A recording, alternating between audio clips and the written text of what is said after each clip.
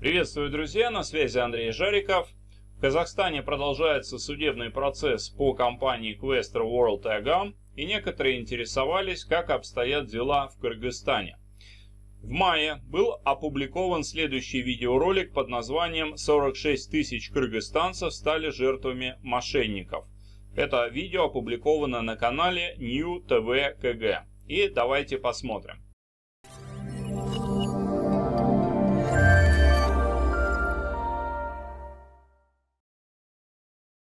Мен 2017 жылы Я пенсионер, мне 72 года. Два года назад работал еще. Тогда мне коллеги рассказали про инвестиционную компанию Questra World. Я отдал 100 тысяч сомов. Меня зарегистрировали на сайте, дали пароли. Каждую неделю сумма действительно увеличивалась. За один год, 4 месяца мой счет достиг 5200 евро. Я ходил, радовался. Два месяца назад этот сайт Five Wins перестал работать. Тогда данный пострадавший, который желал остаться анонимным, написал письмо на имя компании Questra World и получил ответ. Черным по белым было написано, что вы не являетесь инвестором нашей компании, и от вас мы не получали денежного взноса. Два месяца назад я от людей услышал, что мои деньги не отправлялись в головной офис компании, что была черная бухгалтерия, и Нацбанк подтвердил, что от Кыргызстана в компанию Questra World не отправлялись деньги. Тогда я написал электронное письмо. У меня были данные Questra World. Ответ пришел смс-кой. Они сообщили, что я не являюсь их инвестором. Я был в шоке, обратился в милицию в Ленинский район и написал заявление.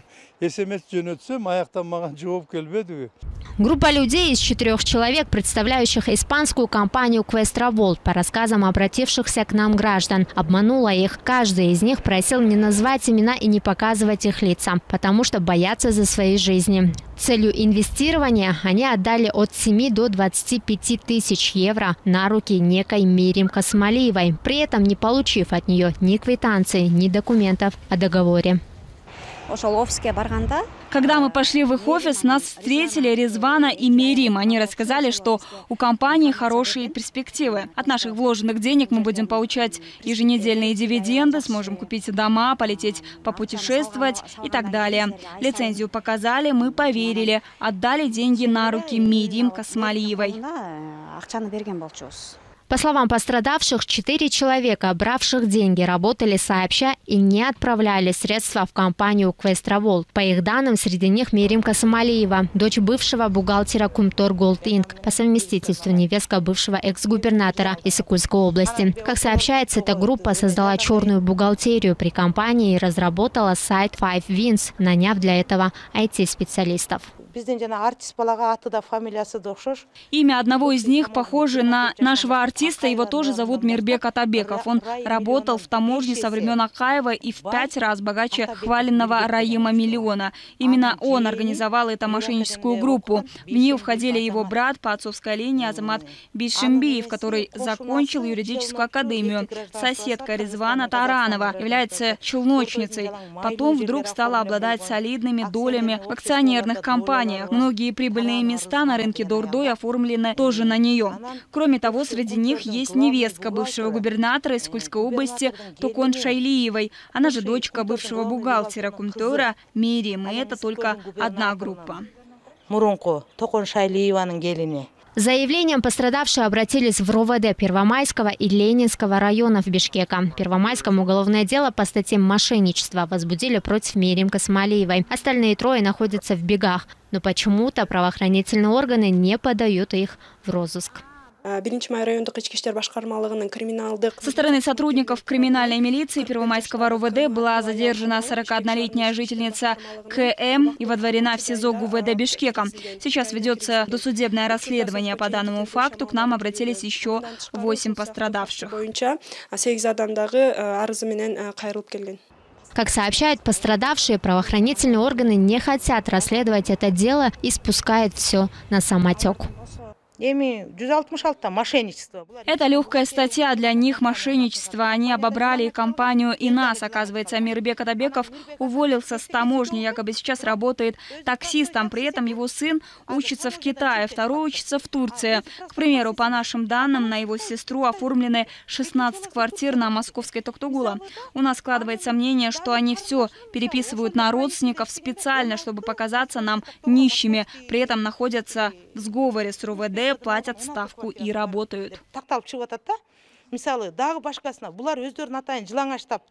Офис данной компании Квестроволт находился по адресу Исанова 42 дробь 1. Но сейчас она пустует, сообщают пострадавшие. В этом здании расположены офисы различных частных компаний, и войти туда с камерой нам не разрешил охранник, сотрудник Бишкек Петролиум.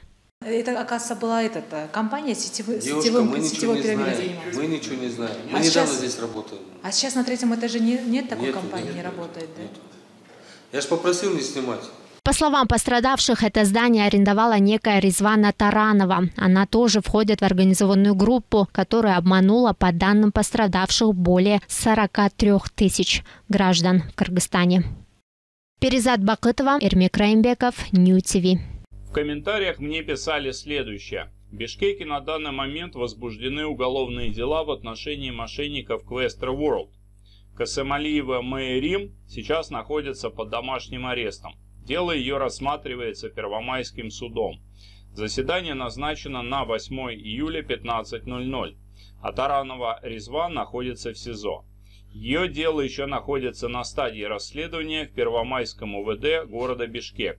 Всех пострадавших просьба обратиться в УВД Первомайского района города Бишкек. Следователь Алмабеков Э.А. И можете прийти в суд, не оставляйте это без внимания.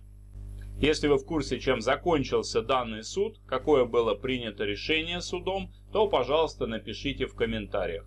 Следите за новостями, подписывайтесь на канал, нажмите на колокольчик, чтобы ничего не пропустить. С вами на связи был Андрей Жариков. Всего доброго.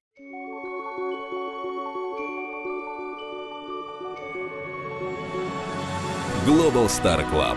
Возможности безграничны.